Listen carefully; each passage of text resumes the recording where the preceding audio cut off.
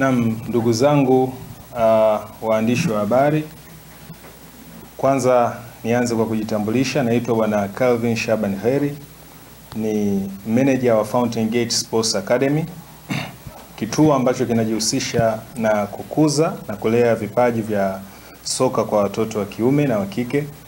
Lakini sambamba na hilo, Fountain Gate Academy tunazo timu zetu mbalimbali ambazo zinashiriki katika madaraja mbalimbali.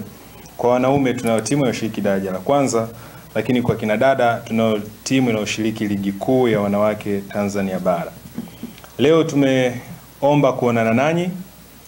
Dhumuni letu kubwa ni kuwatangazia na kuutangazia umma kwamba rasmi sasa tunaenda kuanzisha mashindano yetu makubwa ya kimataifa, mashindano ambayo yatakuwa yanaendeshwa katika kipindi cha maandalizi ya kuelekea katika msimu wowote unaokaribia kuanza katika kila mwaka.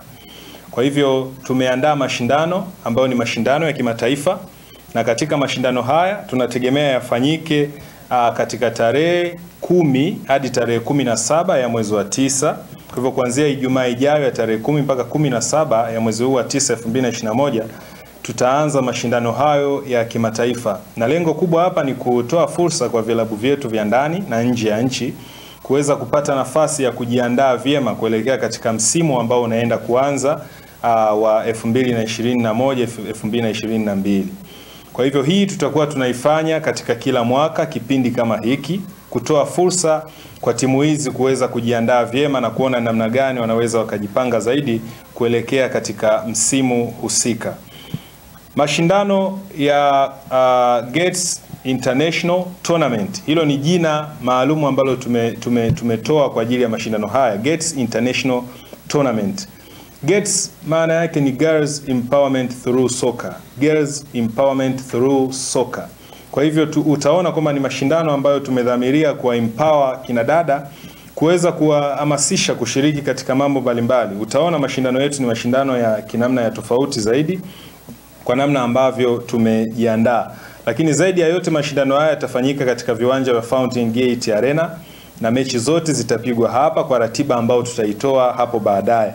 Tunazo timu sita kwa msimu huu wa kwanza, na tumefanya hivi ili kidogo kuweza kufanya kitu ambacho kina uhakika, na baadaye tutaendelea kuongeza idadi kulingana na mahitaji ya wakati. Naweza kuzitaja timu hizo ni kwamba tunayo uh, Fountain Gate Princess kama wenyeji wa mashindano lakini Oysterbay Girls uh, ya kule Dar es Salaam, lakini tunayo JKT Queens, tunayo pia uh, Gaspo kutoka Kenya, tunayo Renes kutoka Uganda, na zaidi ya yote tutakuwa na mshindi wa mashindano yanayoendelea ya Malkia Ndondo Cup. Kwa hivyo bingwa wa Malkia Ndondo Cup naye ataungana katika timu hizi sita kwa ajili ya uh, kuendelea na mashindano haya. Hapo siku za usoni tutaenda kumsema mgeni rasmi katika mashindano haya especially kwenye siku ya ufunguzi. Kwa hivyo mgeni rasmi tumedhamiria kumleta mtu ambaye ana dhamana ya michezo kiserikali, lakini pia watakuwepo viongozi mbalimbali ambao wana dhamana ya kimichezo katika vyama mbalimbali TFF, pamoja na vyama vingine ikiwemo uh, viongozi wa soka la wanawake na hii ikawe fursa ya kuona pengine tunaendelea kuwajengea misingi mizuri kina dada kuweza kufikia malengo yao na timu hizi kuweza kufika katika malengo mbalimbali. Mfumo wetu utakuwa ni mfumo wa makundi, tutakuwa na makundi mawili na baadaye tutaenda hatua ya nusu fainali na kisha tutakuwa na fainali na shamra shamra za kufunga. Lakini nini kinatofautisha mashindano haya na mashindano mengine pengine? Kwenye mashindano yetu pamoja na mpira au mechi kuchezwa hizi lakini tumedhamiria kuweka vitu mbalimbali ambavyo vinaboresha zaidi na kuwasaidia kina dada. Tunaposema tunaenda kuwasaidia, basi tunatamani tuwasaidie kweli.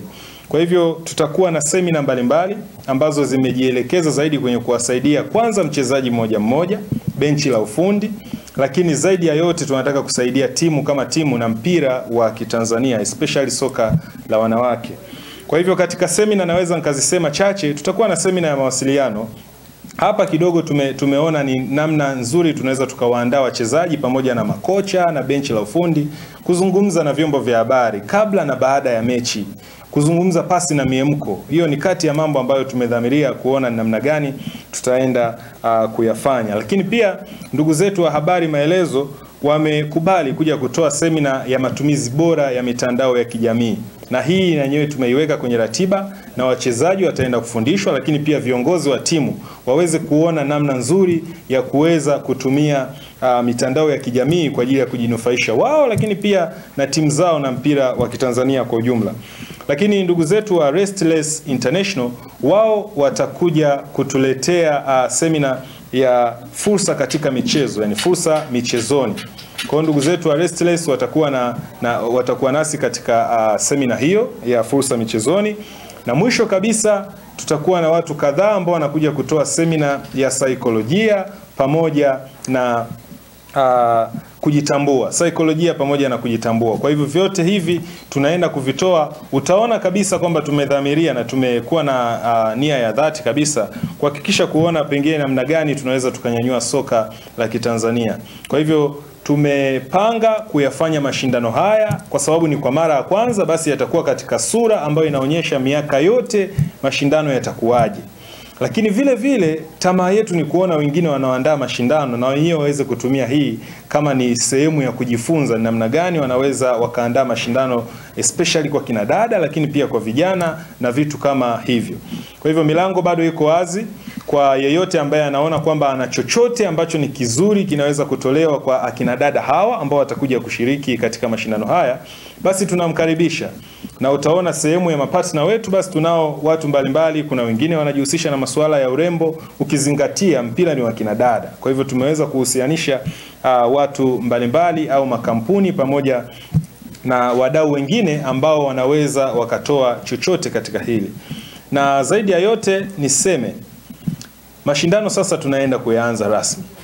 Tumejipanga vizuri kuhakikisha kwamba yanakuwa ni ya kimataifa kama ambavyo inasomeka ni Gates International Tournament, na sisi sote uh, Watanzania wataenda kushuhudia maandalizi makubwa yaliyofanyika, na kipindi chote hiki tutakuwa tunatoa taarifa mbalimbali, na katika hilo tumeungana uh, na wenzetu ambao wamebobea kwenye masuala hayo uh, ndugu zetu wa CFM ya hapa Dodoma ambao tumeshirikiana nao kwa kina, na kikubwa ni kwamba wao tumewachukua kama ni official media partner katika mashindano yetu haya, lakini hiyo pengine haizuii nyie pia kushiriki katika namna moja au nyingine. Nisizungumze sana katika mlengo huo, ni uh, nimpe fursa ndugu yangu kutoka CFM ili na yeye aweze kuzungumza uh, katika mlengo wake. Asanteni sana na karibuni Fountain Gate Academy, karibuni katika Gates International Tournament. Karibu. Asante sana. Uh, mimi naitwa Nixon George. Uh, Nixon George ni mkurugenzi wa biashara na ubunifu kutoka 103.3 CFM Dodoma. Uh, kwanza namshukuru Mungu kwa kuweza kupata nafasi ya kuwa official media partner kwa upande wa audio content. Sisi ndio tumechukua uh, tumepata nafasi hii ya kuweza ku, kuchukua uh, maudhui ya kisauti ya mashindano haya ya Gates Tournament. Uh, sisi kama CFM ni kituo namba moja cha burudani kutoka Central Zone ambacho kina moja kati ya sera yetu kubwa ni kuhakikisha kwamba tuna support uh, michezo, lakini pia tunaweza kuwa empower watoto wa kike, na ndio maana tuna projects nyingi sana ambazo zinawapa nafasi watoto wa kike ama zina zinawawezesha watoto wa kike kuweza kuprosper kupitia project yetu ya uh, acha niruke simkekete. Hii ni project ambayo inamu, inamuempower mtoto wa kike. Tukaona kabisa kwamba hivi kwa kuwa wenzetu Fountain Gate wana hii project, kuna kila sababu yani, kuna kila sababu ya sisi kuweza kushirikiana nao kuhakikisha maudhui haya yaweze kuwafikia uh, Wanadodoma, lakini na kanda ya kati, lakini pia kuyapeleka duniani. Hakuna mtu ambaye ataweza kubisha kwamba haya ni mashindano yanaweza kuwa ni makubwa sana ambayo ya kimataifa ambayo yanatokea nje ya Dar es Salaam. Watu wengi wanazoea kwamba mashindano makubwa ya kimataifa yanafanyika Dar es Salaam, lakini naomba tuambie kwamba hivi mashindano haya makubwa yenye sura ya kimataifa yanatokea huku kanda ya kati. Sisi tukaona kabisa kwamba hii hapa ni opportunity nzuri ya kuhakikisha kwamba tunaweza ku, kupeleka maudhui haya duniani. Uh, sisi kuwa official media partner haizuii watu wengine kuweza ku, kuyahariri maudhui haya au kuweza kurusha maudhui haya. Sisi kwa upande wa radio, lakini pia bado nasema kwamba hivi um, hatutaki kuwa wachoyo kusema kwamba media zingine zisiweze kuwa kusupport hii agenda. Uh, tuna kila sababu ya kusema kwamba wengine njooni. Sisi hatuna hatuna hatuna roho ya kichoyo kuwazuia watu wengine msiweze ku, kurusha, na ndio maana licha ya kuwa ni exclusive media partner, tume sisi wenyewe binafsi tumeamua kuandaa uh, location maalum kwenye venue au kwenye uwanja ambao mashindano yatafanyika.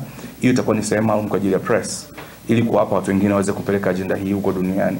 Kwa hiyo nilishukuru uh, Fountain Gate kwa kuweza kutuamini na kuona kabisa kwamba hivi kuna media zaidi ya kumi na sita Dodoma, lakini sisi kuona kabisa kwamba hivi tuna tuna tuna, tuna tume tuseme tumepata hiyo neema ya kuweza kuchaguliwa um, kwa sababu ukizingatia tarehe moja Septemba mwaka huu ndio kwanza tumetimiza mwaka wa kwanza. Kwa hiyo utaona kabisa kwamba hivi kuna nguvu ambayo Mungu katusaidia na tumeweza kuhakikisha kwamba hivi tumefika namba moja, lakini pia kuonekana kabisa kwamba ni kituo ambacho kinaweza kufanya kitu yeah. Asante. Sisi tumeweka zaidi ya milioni 60 kwa ajili ya kusupport hii agenda kwa ajili ya haya maudhui. Kwa hiyo tunatoa thamani ya milioni 60 za Kitanzania kwa ajili ya kuweza kumiliki ma maudhui haya ya audio. kwamba uh, waandishi wengine tunawakaribisha, vituo vingine mnakaribishwa, hakuna chaji yoyote ambayo tutawachaji mm. Lakini uh, kikubwa ni kufuata tu taratibu ambazo tutakuwa tumeziweka, taratibu ambazo tumejiwekea. Nafikiri kila eneo kuna taratibu zake. Kwa hiyo yeyote ambaye anataka kutoa maudhui haya basi atafika, tutampatia utaratibu ambao tumeuweka, na kama ulivyosikia, pengine ni kwa mara uh, chache sana ambazo uh, waandishi wanakuwa na eneo lao maalum la kufanyia shughuli zao na eneo ambalo liko standard, una uwezo wa kupata picha zako ukazitengeneza ukachakata na ukarusha uh, kwa umma. Kwa hivyo tumejiandaa kutoa fursa pia kwa waandishi na wao waweze kuexperience ma, uh, mazingira mazuri ya Fountain Gate Academy.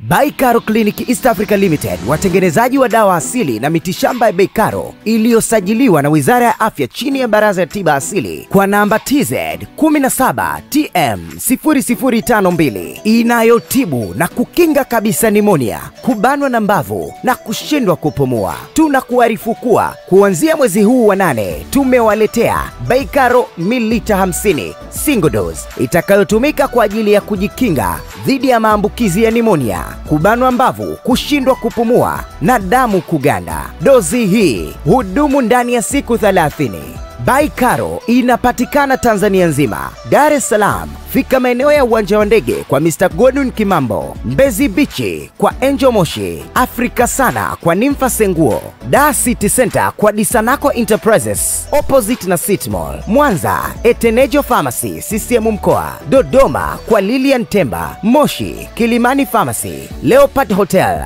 kwa Mr. Leonard Moshi, Arusha fika Kilimani Pharmacy, Amaris Pharmacy makao makuu mapya Arusha, Bluestone Lodge and Lounge, Mr. G Collection opposite na Stanbic Bank, kwa Obama EAC na Advocate Modest Akida Advocates. Kahama fika The Bab Pharmacy, Phantom Street, Morogoro fika Msafiri Chemistry, Mbeya fika kwa Msafiri Pharmacy na Kigoma fika kwa Mr. Mwakalobo au tupigie Baikaro masaa 24 kupitia 0742 777 775 na 0710 777 339. Jikinge na uwakinge wengine.